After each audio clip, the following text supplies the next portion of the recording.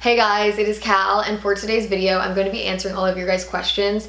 I posted a photo on my Instagram about a month ago during winter break, and I was like, please ask me anything. I'm filming a Q&A. I never got around to filming that, so now I'm answering all of those questions now. And through this, you guys will be able to get updated on my life, kind of where I've been, what I've been doing. So I'm excited to get into it. If you do want to follow me on my Instagram, it is just at Kallie Kaiser. But yeah, I'm excited to see what you guys asked me and here we go. To start the Q&A, please do more of your editorial shoots at home type of videos. It was super helpful. Love this photo. Thank you so much. I am going to be filming another shoot with me at home type of vibe video, so definitely look out for that. I'm excited. Do you have a Depop? Yes, I do have a Depop. I'll make sure to link down below in the description box if you guys are looking to buy any of my clothing that is like gently I really haven't worn a bunch of stuff that I'm selling on there. It's mostly new with tags or new without tags. How do you keep your fair skin looking so smooth? I love skincare so much. I have super dry skin, so I I'll just show it to you. You guys need to see this serum.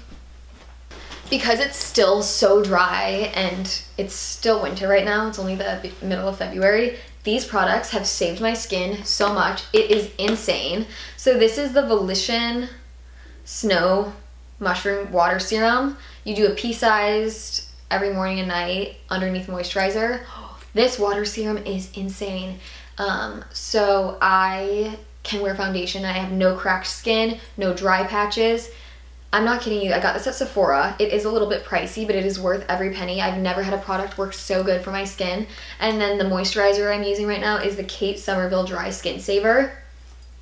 This is amazing as well. I love this. These two together have worked so well for me. So if you're wondering why my skin has looked good lately, that is the reason. Makeup item you cannot live without. Lip liner. I really am obsessed with lip liner lately. And my favorite one is Kevyn Aucoin in the shade Minimal. That's the best lip liner. I'm wearing it right now, actually. What are your plans after graduation? I definitely want to stay in California for sure. I will be doing YouTube full time, which I'm really excited that I can finally devote all of it to YouTube instead of school, school, school, YouTube, school, school, school, YouTube. Um, LMU is my favorite school that I've been to. I'm a senior and I get to walk in May with my cohort, but I have to stay an extra semester fall through December of 2019 only because I transferred twice before I went to LMU. I went to U of A in Tucson, Arizona, and then I went to SMC, Santa Monica Community College. Also, LMU is my favorite school that I've ever been to. It is unreal. The humans there, the professors there, the community is insane. I am in, I am I can't, I'm speechless. I love that school so much. I really take things year by year. I'm not like, oh my gosh, five years from now, this is exactly what I want to be doing because we change internally our whole lives. I have no idea what I want to be doing in five years.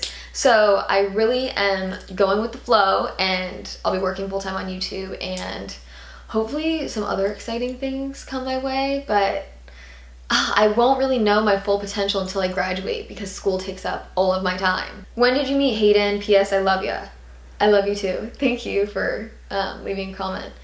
So Hayden and I met, we've been dating for almost four years in May and I met him on spring break in um, Marco Island, Florida, which is so funny because he actually lived four houses down across the street from me. He was my neighbor in my neighborhood, and I met him on spring break in Florida, which is just so funny. He went to the same high school as me, he was just one year younger than me, and he actually is a month older than me outside of school, which is funny. So I graduated high school, took a gap year, met him on my spring break gap year and he ended up being my neighbor. I can stand in my driveway and wave at him if he's standing in his driveway, which is so funny. But actually, his family just moved to Denver, which is sad. So he's no longer my neighbor, but um, Hayden's at U of A right now. After I transferred out, he transferred in. And we've been doing long distance for four years in May. He's great, I just love him. Have you ever felt lost and confused about your future, and how do you get over that feeling? I am so happy somebody wrote this just because I'm sure so many of you guys feel this way. I feel like this way right now. I'm so lost. I'm 22. I have no idea what I'm supposed to be doing. I'm a senior. Life is so overwhelming sometimes. Growing up is one of the hardest things that we do on an everyday basis. Aging is so hard. Adulting is so hard. Um, 2018 was not the best year for me at all. I can't say that it was all bad because I did have amazing moments whoa, throughout the year, excuse me. I am just taking life day by day. Um, what's really helped me is finding solitude in things. So if you are someone who needs self-care, like I need self-care or I lose my mind, solitude is a huge practice that I do on an everyday basis. I also will take baths with Epsom salt. Um, not talk to yourself, but you need to learn how to cope with your mind. The mind is so powerful, it's insane. I spend a lot of time um, watching movies or films that I am passionate about. I will play Xbox, I'll put on some Fortnite, or I just started playing Apex. Um, I find that I'm really grounded when I surround myself with really good people. So getting involved in things, kind of taking your mind away from, you know, up here, which never stops turning, and putting your energy into something that is very calming. My mom is awesome. She has hormone imbalance as well. She'll paint to take away anxiety really whatever works best for you. I mean, this feeling is so natural, it's crazy. The women in my family have pretty bad hormone imbalance, so I've I have struggled with anxiety for as long as I can remember, and it only kind of gets worse the older you get, so you need to kind of cope with that anxiety on an everyday basis. If you want to learn how to cope with that feeling, you need to listen to your body, your mind. You need to be eating every 2 hours there are so many good things that you could do for yourself to kind of escape up here and uh, I kind of go all over the place. I know that it's easy to edit what you say on YouTube, but I am a rambler for sure. Um, hopefully that answers that question. How do you react if somebody tells you you're too skinny? I literally hate that. Um, this skinny shaming is so sad. It's just as horrible as fat shaming there is nothing right with judging somebody's body and putting prejudices on them and assuming something about them. I had no idea how bad skinny shaming is in 2019. I recently lost a bunch of weight in October, at the very end of September, and going into like October 5th. I had salmonella poisoning for eight days. I ate either it was bad. It was dirty meat. I ate pork bun and chicken fried rice and spicy scallion pork and chicken dumplings. And I literally woke up six hours later and I've never been so sick in my entire life. I lived on my bathroom floor for five days. I lost a total of 15 pounds total, but I lost 12 pounds within six days. I threw up straight for five of those days. Um, it was definitely the hardest sickness I ever went through. I really didn't expect to get emotional, but um, it was just so hard. Also, I'm such a crier. Like, I cry all the time because hormones are insane. yeah, I mean, clearly I'm still freaked out by what I went through. Um, my best friend Kellen, who's also my roommate, who I need to vlog more so you guys can meet her, but uh, oh my gosh, I can't even talk. wow, it's so hard to talk when you feel so much emotion, but Kellen, she helped me through so much of it. She's amazing. Yes, so I am such an emotional person if you can't already tell. But when I had salmonella, I didn't eat a meal for eight days straight because you can't.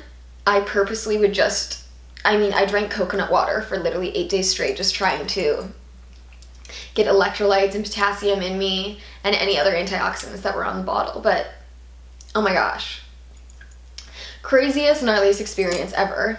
The pain of starvation was the most painful thing I think I have ever experienced. It just felt like I was dying. Like there was, oh my God it was so painful. I mean, clearly you could see how it affected me because I lost so much weight so quick. And now it, it it really took me four months to get to where I am now, which I'm so happy. I find joy in the littlest things. I was taking Cipro, which is ciprofloxacin, I believe. Um, I was taking 500 milligrams to kick that out of my stomach to kill the salmonella. Um, so I was taking a antibiotic for three days, twice a day, and it was a medicine that weakened all of your muscles. I was bedridden, I couldn't drive. I was so weak. I mean, I, I was literally living on my bathroom floor for five out of the eight days. And my boyfriend was here for a few of those days. We had bought a flight ticket before. Obviously, I knew I was going to get sick. And he helped me a lot. He was able to go to the grocery store, get me my coconut water and all that stuff. So he was here during a weekend when I was going through that, which, oh my gosh, I can't even imagine. He's amazing. After the salmonella was gone and I started eating food again, it was so painful. It felt like I was eating rocks. Like my digestive system was so messed up. My intestines didn't have any of its good bacteria in it because the medicine just completely cleared out my system. And that medicine was the worst thing I have ever felt in my body. It just weakens me. I lost so much, like, my, I'm so weak. I'm so weak. So I'm in Pilates now at LMU, and that's been awesome. So if anyone asks me about my workout routine, I don't have a workout routine. I just do Pilates through LMU, and it's every Tuesday and Thursday morning. But when I started eating again, it took me about a month to get to three to four meals a day just because um, the PTSD from having salmonella and then trying to eat again.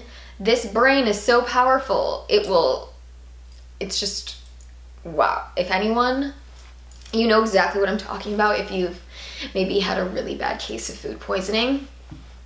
So, yeah. Um, it's taken me four months to get to where I am now, which I'm finally so happy again. It took me a long time to love myself again because in high school I was not this small, but I was definitely small. Like my boobs went down two sizes. I lost so much weight. I mean, so many of you guys are worried about me through my comments on my Instagram, which is sweet. But back to skinny shaming. I have been skinny shamed by waiters. I've been skinny shamed by strangers. And then social media, I mean, if I'm putting myself on the internet, um, not asking for comments like that, but skinny shaming is not okay. So don't do it because you are just hurting others for no reason and you have no idea what they went through. You have no idea. And you can't just assume that everyone has an eating disorder. And also, sorry, this is so TMI. I am an open book if somebody asks me questions. also, if anyone else went through this, it happens. Like you're not alone. Um, and it just takes time. Our bodies need time. We live in a world of instant gratification, and it's so hard to constantly keep up with that, especially if you are trying to focus on your health and wellness and happiness at all at once. Um, taking care of yourself is one of the hardest jobs. Losing that much weight I wasn't used to looking at myself in the mirror. I hated taking pictures because I'm not used to being this small. I hate the way I look when I am this small. None of my clothes fit me. I can't wear any, I wear the same white jeans every single day because they fit me. It's so frustrating. So I'm just hoping that my metabolism just slows down for a minute so I can put on some more weight. But yeah, every chance I get to eat, I'm eating and I feel amazing. How do you handle a long distance relationship in college? Um, so Hayden and I have been in a long distance relationship, except for when we go home for the summers and then holidays and random breaks. And then I see him every single month. But um, how do you handle a long distance relationship in college? everyone's relationship is so different. You can't compare any relationship, friends, boyfriends, girlfriends, anything. You really just can't. Um, but it's all communication and honesty. You can't bottle up emotions. You need to tell them exactly how you feel when you feel that way. I also think that if two people want to be together, there won't be that jealousy. If you want to be with that person, it's so worth it and you will make it work if you want to. Can you tell us your first kiss story? So, Hayden was my first real kiss, first makeout. I was 19, it, and it was when I met him on spring break in Florida. Um, we were on the beach, and our friends were like, Kallie, you should totally kiss Hayden tonight. He wants to kiss you. And oh my gosh, it's so it's so funny. But um I was so nervous. Oh my gosh. My heart was beating out of my chest. I wanted to ditch everybody and leave and go back to my hotel room just because I was so nervous. I've never had uh, a guy be like, hey, maybe I want to kiss this girl. I don't know. Sounds so funny to say now because it's not that kissing isn't something to be nervous about, it's just exciting. Um, so we were on the beach and he asked to kiss me before he kissed me, but we were like walking off in the distance away from everybody. Because if you ever have gone to spring break in Marco Island, Florida, kind of all the high schoolers and maybe some middle schoolers that are hanging out with people too, everyone kind of meets on the beach at 10 p.m. or 9 p.m. and hangs out and just meets everybody. So it was that situation. So we were all hanging out at the beach, and then he finally came up to me and was like, Hey, do you wanna take a walk? Maybe he said, or he was just asking me, like, Oh, how was dinner with your family? Do you wanna hang out over here? And I was like, Yeah, sure. Oh my gosh, I was so nervous. And he, when he kissed me, we just started making out on the beach, and it was so fun. And my cousin was there, Sammy, who's now either 13 or 14. It's so hard to keep track of everybody's ages. But she was on spring break with me then too, and she's like, I know you kissed Hayden. um, no, it was so much fun for a first kiss experience, and I'm so happy that it was with Hayden. What's your biggest tip for finding your personal style? So, this is a hard question because I don't know how I found my personal style. It's kind of like my brain is like, I want to wear that. I like that. I'm going to put that on my body. And I just love the way things coordinate together. But of course, I get inspiration from other people. Because I know someone asked, Who's your style inspiration? And I really haven't thought about this question in a while only because when I was sick and everything, I just haven't really been on top of my game with social media and style and shopping and fashion just because I was only focusing on my health. I love the brand GCDS. I also love my style inspiration. I have not thought about this in a while. Um, I have no idea. Best places to find cool pieces cheap on sale. So I shop everything on sale. I shop in the sale sections on really dope websites. My favorite website is Farfetched, Opening Ceremony, Dolls Kill, Urban Outfitters. I love all of those. And I shop all of like cheap thrifted stuff on Poshmark, Depop, Grailed.